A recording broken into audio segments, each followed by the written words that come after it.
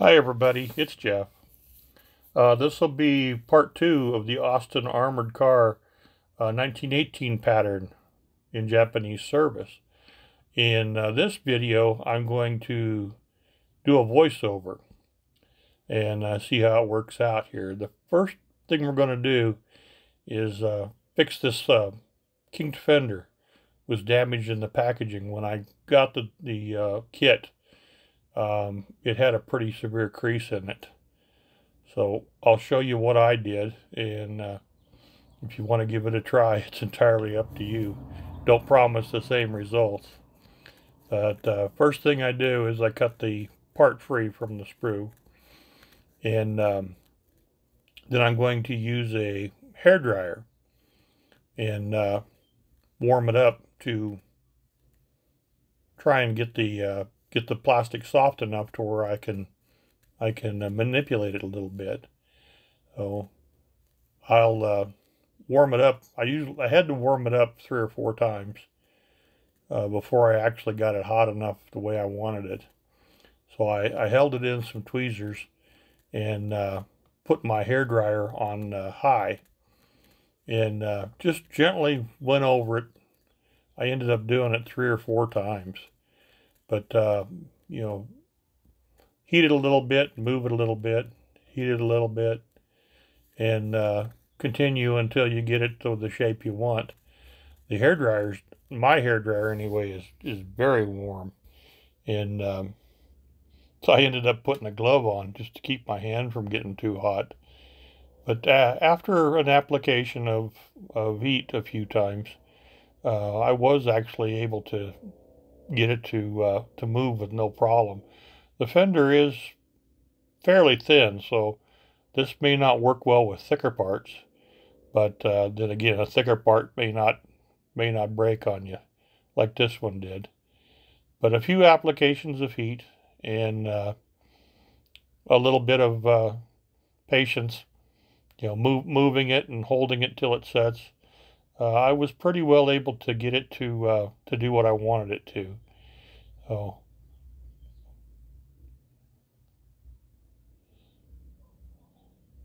just just a, a little more heat, I guess. This is this is only the second time I've done a voiceover, so I'm kind of kind of learning as I go, just exactly uh, what I want to do.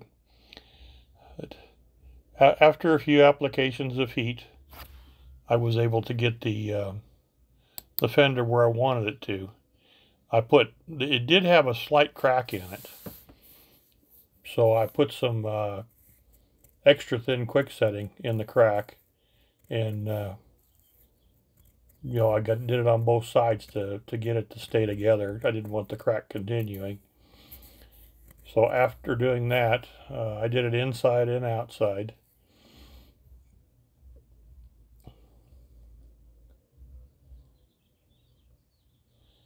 Oh.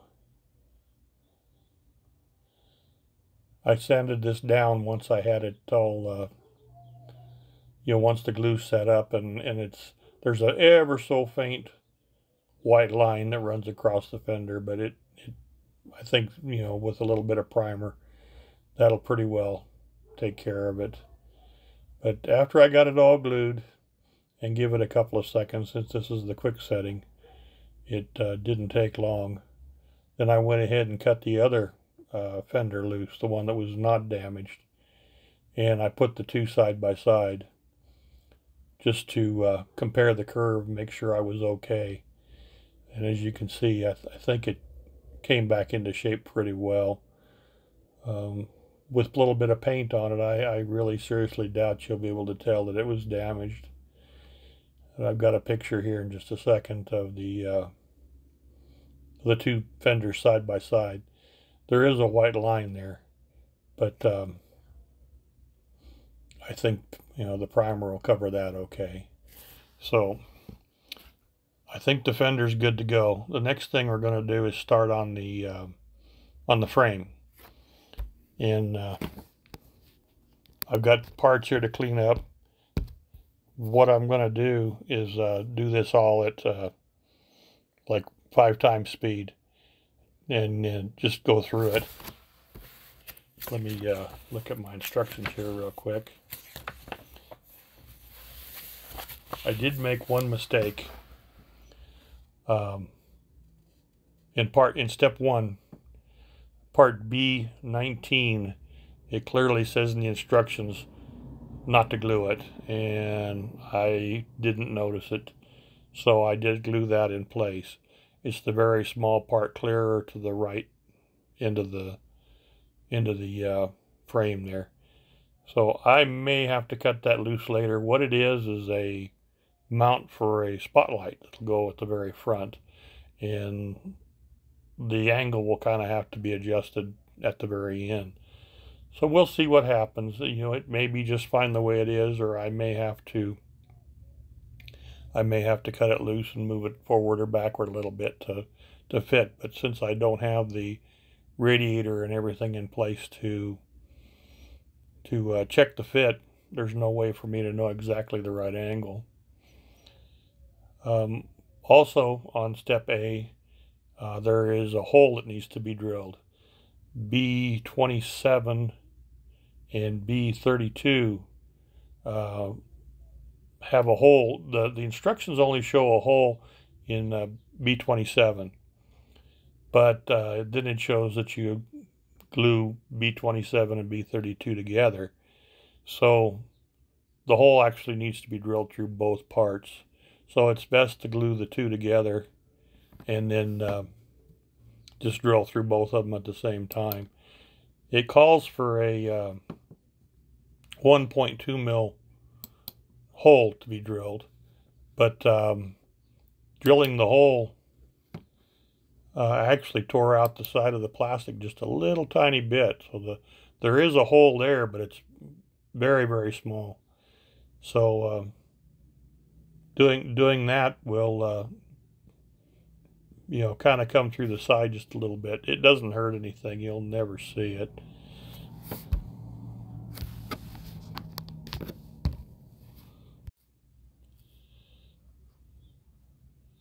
So I, I'm just uh, going through cleaning all the parts.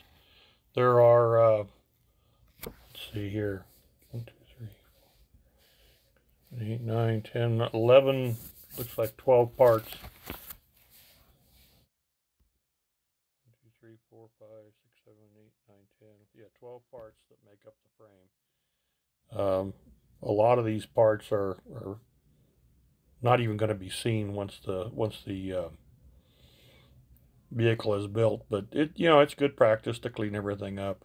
Here I'm marking my sprue points with a uh, sharpie, and then I go through and and file them or sand them until I'm happy that the the uh, sharpie's gone, and then I can tell that I did a you know fairly good job of, of getting rid of it.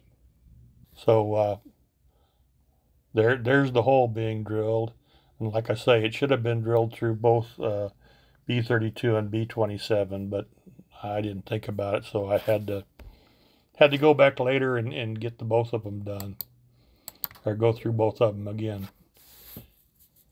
So we're just about ready to go ahead and assemble everything. And that, that there's all the parts. The first thing I do is uh, I start on one side and uh, check my fit. And then I put uh, extra thin on just the one side. And I glue that. And then I just hold it until it just starts to set. And then I just continue on through the down the frame, stacking parts and getting one side together. It, it doesn't really matter just, uh, you know, if you've got everything nice and square at this point or not. The glue dries slow enough that uh, once you get both sides together, it's pretty easy to, you know, move it a little bit to get everything lined up correctly. I had to clean out a few holes there, you know, there was a couple of places there where where the holes were kind of small, so I had to clean them up. This this part here is uh, uh, DA2, and it didn't fit real good. The hole was a little bit tight, so a little glue and uh, just scraping the hole a little bit, it, it fit just fine. So we'll we'll continue stacking parts until we get to the end. It, it's not very complicated. The MiniArt's are really good about uh, locating marks and things. They're they're small, but they're they're obvious. So once you get the uh, get the one side of the frame done, you can come back and uh, assemble the other side. Now, when, when I do the other side, a lot of times if I can get the joint just right, then I'll go ahead and use the quick setting. I did not attach uh, DA35, the steering column yet. Uh, main reason being is I want to put the frame in a little jig I've got and uh, put some weight on it and let it harden, let the glue harden real good. And I can't do that with the uh, with the steering column on there. So I'll show you here in just a second. So here's the other side going on.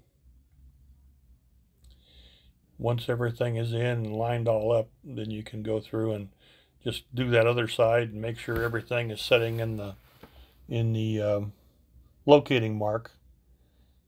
It's not terribly difficult, just takes a little bit of time.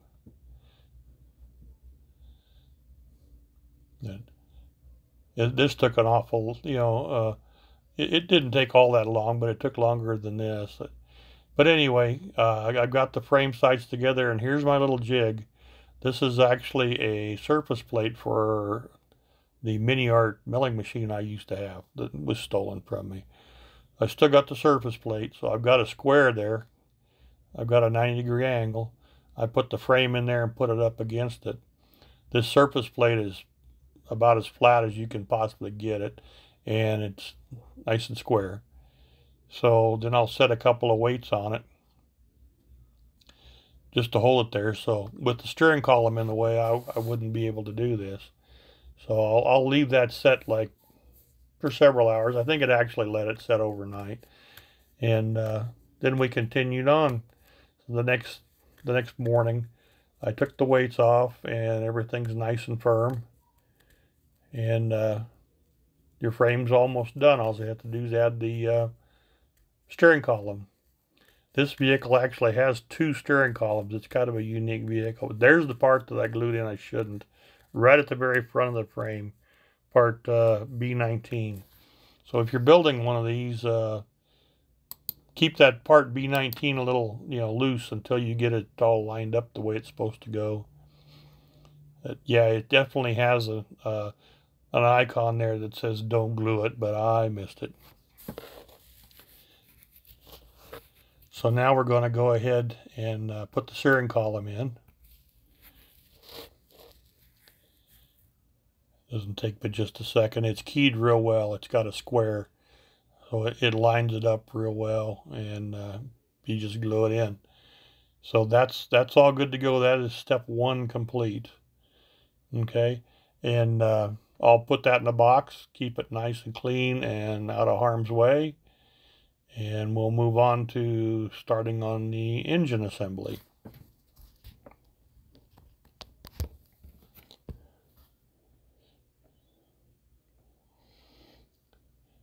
So uh, on step two,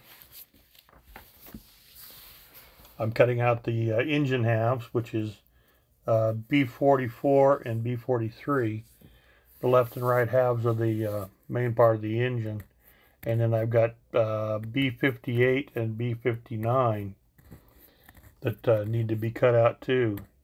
Now the, the first three parts are going to be aluminum and uh, B59, the actual oil pan, is going to be black. So I'm going to paint those separately so that we don't end up with, uh, you know, something I'm going to have to hand paint. Uh, I a lot of this engine, as I've you know looked at other people's builds and things, very little of this engine will be visible. So I'm not going to spend an awful lot of time de detailing it. It's just, uh, you know, the fact that it's there. That that's the the best way to put it. But uh, I'm going to keep some of those parts separate so until I get them painted. I'm just doing this at, I think it's at five times speed. going through and, and making sure all the, the nibs and everything are cleared off. Now on part uh, B59 it has three locating pins, two on one side, one on the other. And the, the one on the right side was too big and it wouldn't fit in the uh, the uh, female hole on on part uh, B58. So in the end, I actually just cutting cut that off. It still had two locating pins on the other side, but uh, check when you're putting yours together if you've got one of these, because uh, the two parts uh, B58 and B59 would not go together until I cut that pin off. Always good to check, you know, before you start painting things to make sure that you've got your uh, got your parts all fitting well. Uh, I spend a lot of time just doing little, you know, double check my fits, make sure everything is good before I glue things together.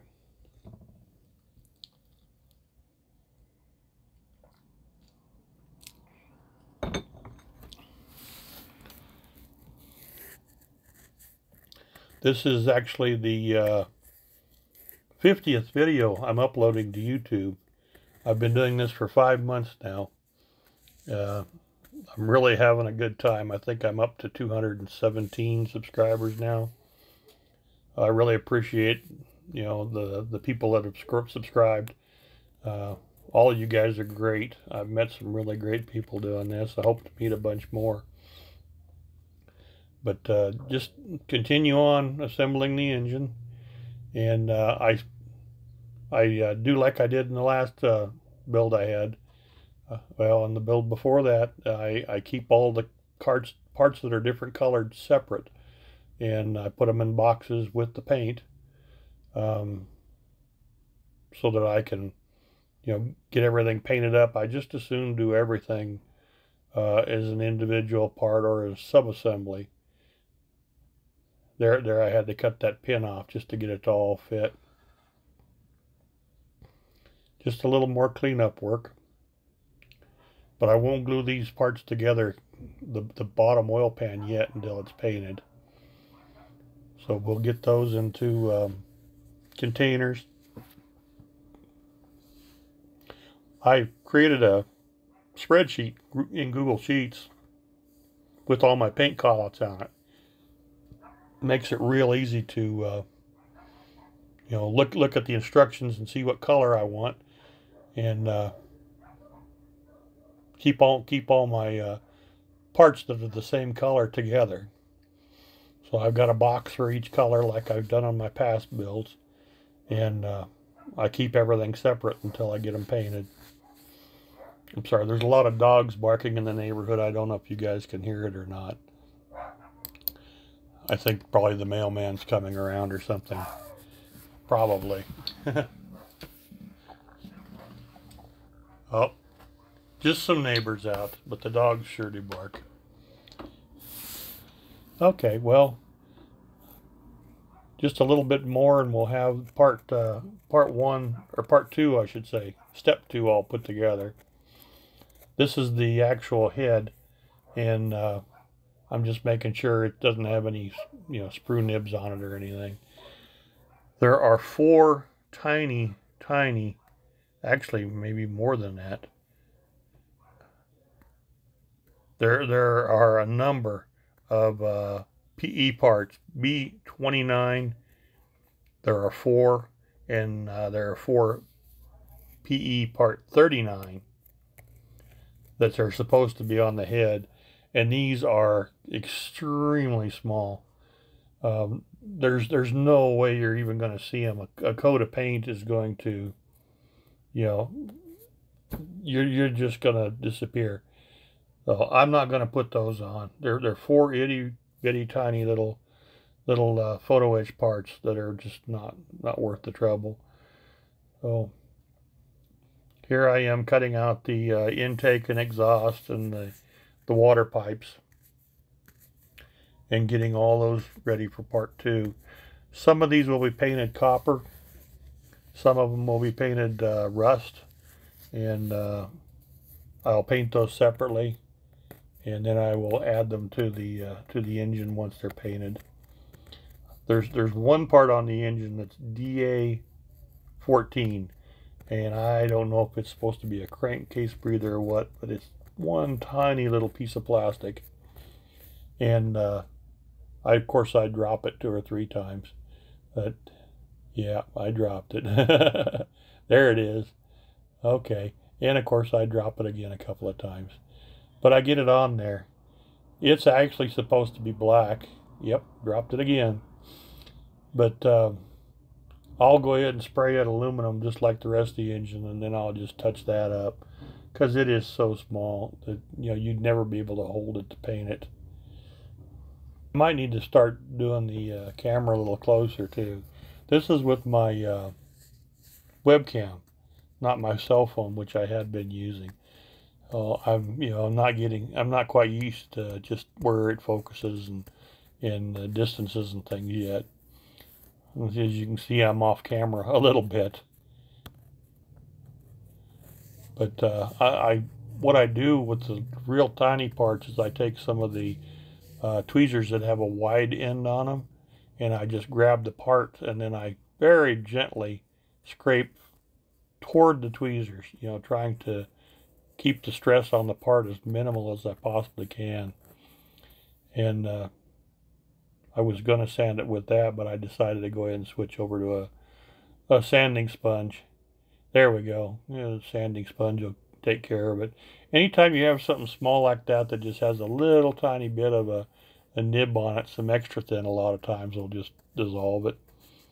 So there's the some of the copper parts. We'll get those all together. Checking my uh, my list again.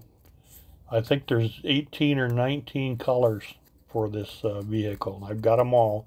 I had to order a couple of them, but they've all come in. So we're good to go on that. And uh, it won't take once once uh, this has just got a few more minutes and then I will uh, probably pause the video and then in the next one we will we'll do some uh, some painting but basically I'm just cleaning up parts and, and getting them uh, you know organized by color in the different containers with with the actual paint that'll be used. Uh, lots of you know I, I spend a lot of time just um, cleaning up little little tiny uh, you know uh, parting lines and sprue nibs. It's just a good habit good practice to get into. You know a model can take that extra few minutes. You can really turn a model into a real nice model just by getting rid of the the uh, connecting points and the and the parting lines and stuff like that it, it's not that much work I really enjoy doing it. So it, it's it's always a good thing to do. So going through my paints, those are all the paints for for this model. Yeah, it's the rust for the exhaust pipe, so we've got that located. So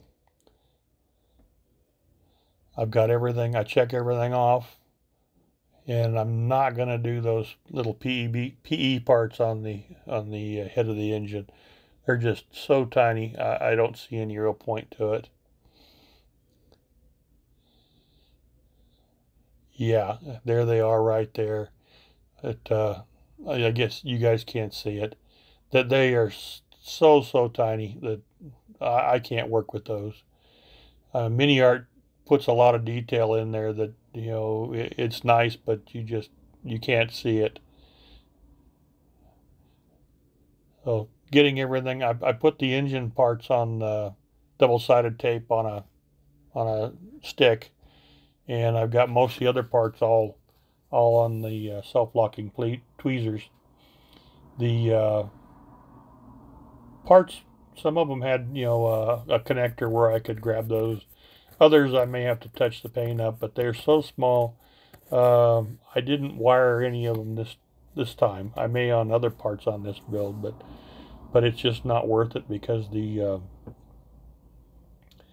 the uh, parts are so small, you know, trying to drill a hole in them, you'll uh, you'll just split the sides.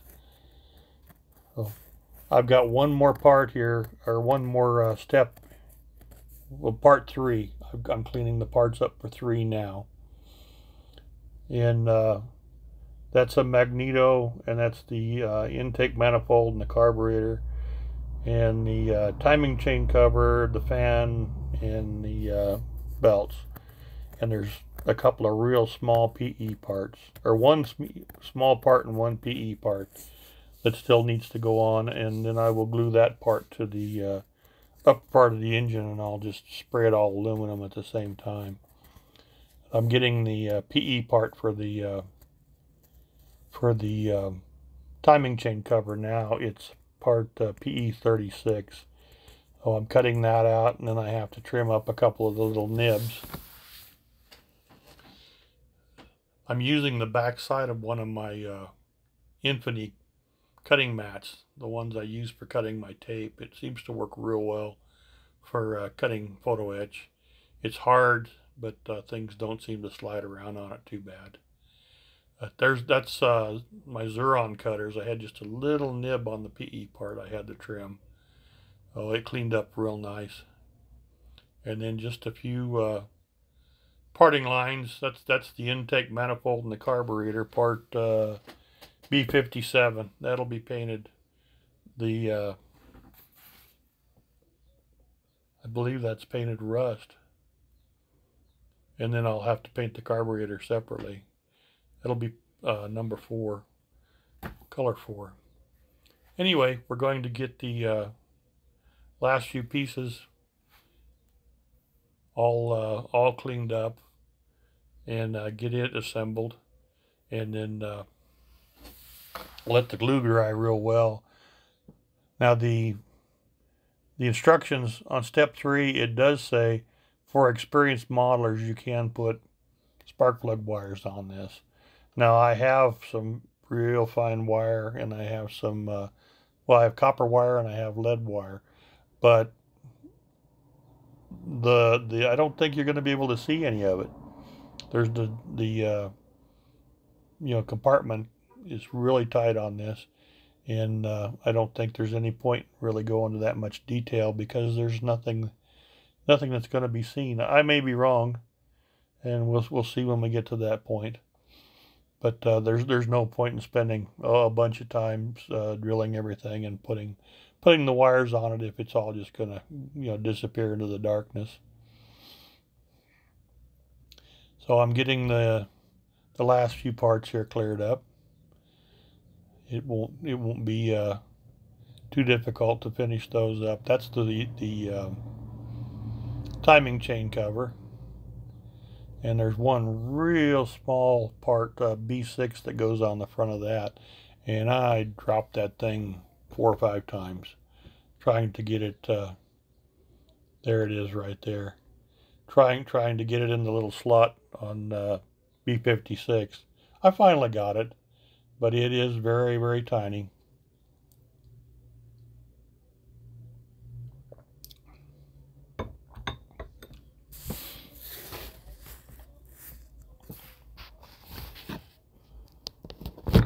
I ended up putting it on my, uh, sorry about that, dropped my phone. I'm recording on my phone.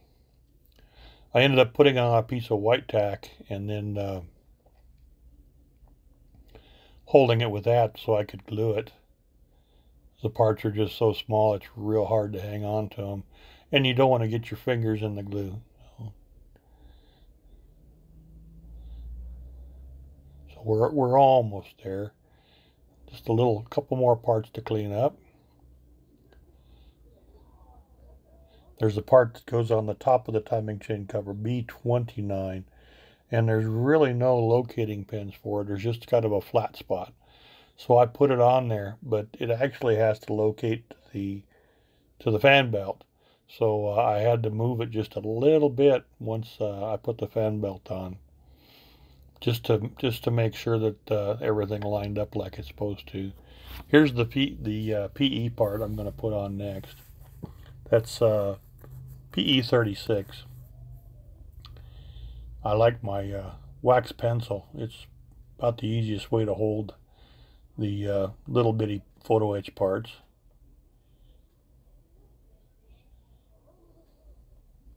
A little bit of super glue. And get it where you want it in a hurry because it's going to set on you. I think I went back and I reinforced it with just a little bit more super glue. I'm only getting a extremely tiny amount when I, you know, on the end of that wire, so you really can't even see it once it's all done. There's the fan. There was three connecting points on that fan, so it took a couple of seconds to uh, to get everything cleaned up real good. I don't think any of that's going to be seen when, when it's all finished, but I try hard to, to keep everything nice and neat and clean. Just a little bit of fuzz on there. And as I recall, the uh, the uh, hole for the fan fan belt on uh,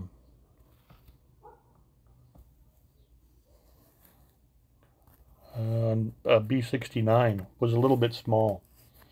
So I had to actually open it up just a little bit. I've got a, a reamer. It didn't take much, but uh, test your, you know, test fit your parts first because, um, you know, you don't want to get your glue on there and then find out the part doesn't fit. But there's the fan going on. Just typical MiniArt, very finely detailed. And then that subassembly, I'll go ahead and, uh, subassembly B, I'll go ahead and attach to the block. And then I'll just paint that all aluminum at the same time. And I'll come back and I'll uh, brush paint the fan belt. Uh, like I say, I don't think you're going to be able to see it. That part didn't fit real well. I had to do a little scraping. And there's two locating pins on the front of the engine. They're actually little, little lugs that are supposed to go in the back of uh, of a B56, and they did not fit. So I ended up just cutting them off to get the part to line up. Uh, it all looks fine. It all went together fine, but those locating lugs uh, were kind of in the wrong spot, or they were a little too big. Get everything lined up good. And then I test fit and make sure that the uh, oil pan will go on the bottom, which it does. It all looks fine. So I'll put that all back on my tape. And we'll put that in the box for the aluminum and put the oil pan back in the the um, box for the black. And that's going to do it for this time. I really appreciate you guys watching. Um, I'll have another one posted here in a you know, week or so. And I hope you enjoy it. Leave me some comments. I, I don't know if you guys like this style where, where you just film it and then narrate it later, or you just assume I talked as I did it. It's easier on me to do it this way. But anyway, have a great day. We'll see you later.